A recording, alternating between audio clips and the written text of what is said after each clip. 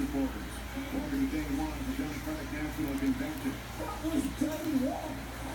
Day one. The DNC elected the roughest start of our series since Fox 5's 2011 coverage of the San Diego boat. Good morning, everybody. I'm hanging my friend John. Talk about one of his stuff. Take over. And it starts right now.